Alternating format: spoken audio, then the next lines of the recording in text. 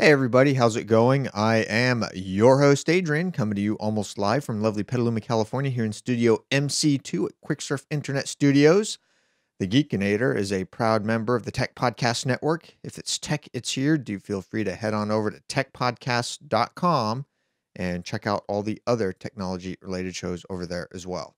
I'd like to encourage everybody to visit us online over at quicksurf.com. Please do subscribe to the show if you have not already done so. And for those of you who have, thank you for subscribing. And uh, with that, let's go ahead and get into some of the cool stuff for this episode. Before we talk about uh, the the the uh, links that I have for this episode, uh, Apple just did have a, uh, a, uh, a an event today. It's Tuesday, October twenty second. Um, I just finished watching the video, the keynote video that they had. Unfortunately, I don't have enough time to get it in this show. So we'll expand a little bit on that. But if you want to find out about it, go to apple.com. They have a link. You can watch the keynote video yourself. Um, I'll have uh, on the on the next episode. I'll have a brief overview of what's going on uh, with with the the new Apple announcements that happened today at the Apple event.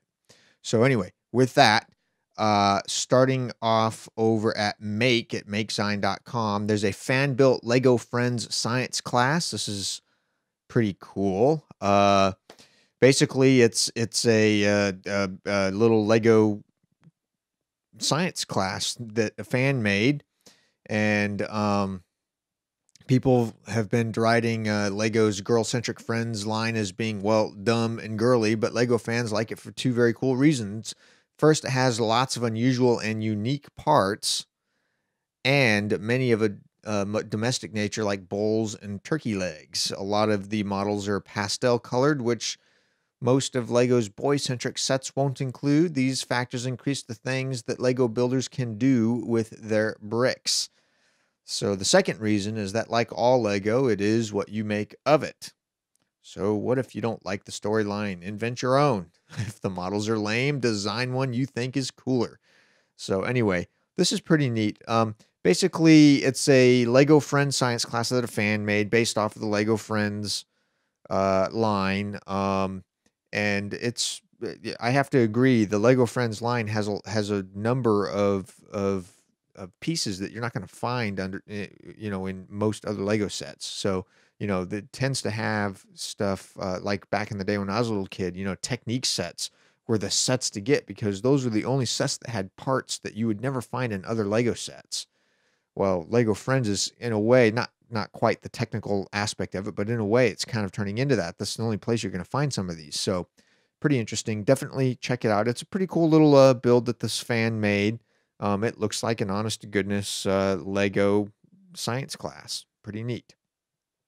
From Uber Gizmo, scientists create a disk that is able to store data for a million years. Being able to store terabytes of data on a hard drive is pretty easy nowadays. All you need to do is hook up a hard drive to your computer and you can start storing content immediately. But being able to keep that data lasting for longer than several years can be quite a challenge, especially if you regularly use the hard drive. It looks like that will be a thing of the past as a team of researchers have built a hard drive that can reportedly store data for over 1 million years. So, uh, researchers from the University of Twente in the Netherlands, they uh, have been uh, looking into this, and what they found was that data needs to be stored in a way where it is distinct from other pieces of data.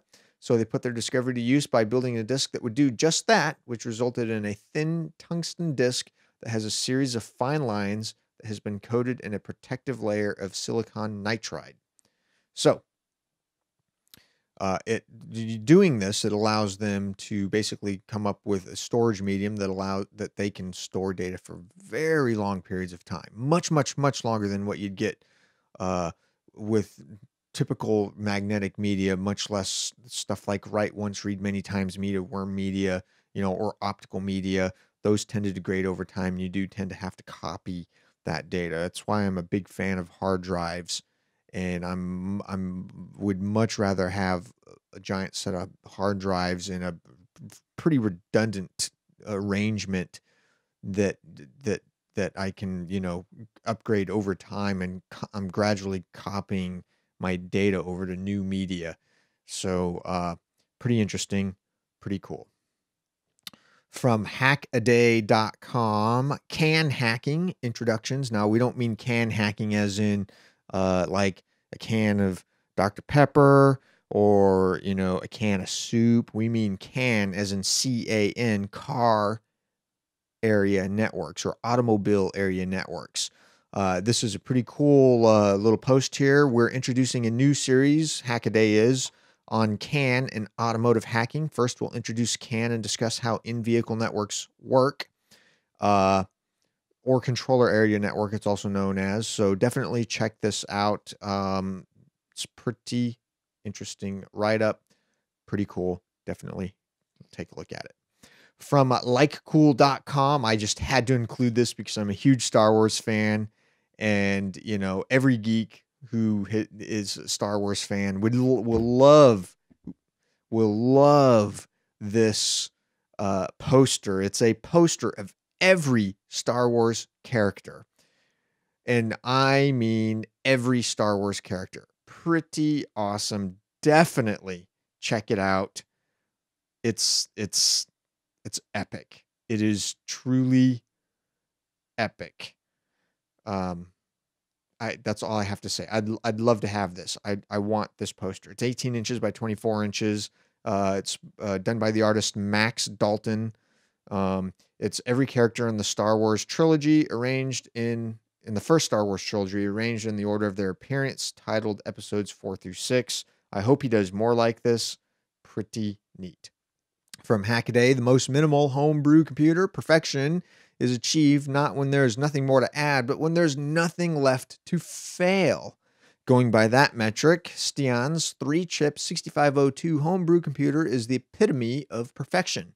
It's a real working homebrew retro computer using only three chips, a CPU, some RAM, and a microcontroller to bootstrap the computer and provide a video output. The key to this minimalist build is having the entire boot process controlled by an ATmega16 microcontroller.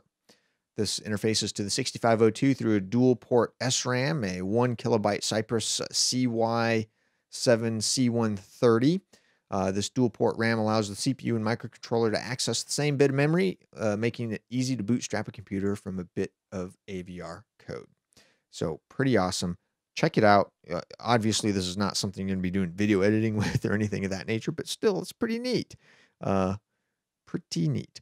From MakeZine.com, Shapeco 2 milling machine launches today. Shapeco is the first little milling machine that could. It surpassed its Kickstarter goal and went into production with the goal of supplying CNC mill fans with an easy to use and inexpensive, and we mean inexpensive as in $300, uh, CNC machine, which is very inexpensive as, as far as CNC machines go.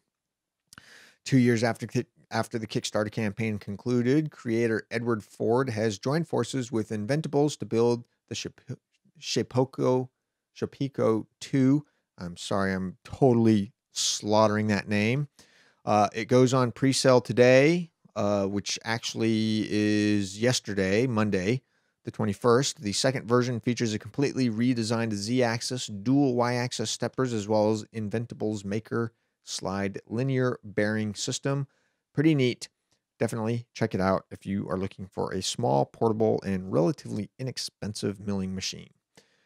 So I uh, wanted to keep this show quick, short, and easy. So that'll do it for this episode of the Geekinator. On the next episode, we're going to be uh, doing a little bit of uh, update on what went on with the Apple event uh, today. I just finished watching the video, and I just don't have enough time to uh, gather my thoughts and get this video out. So I I'll have that uh, Friday evening when I do that show. Um, I'll probably be running the new Mavericks when I do that. Hopefully, it will not completely break my uh, video workflow pipeline. So we'll see how that goes.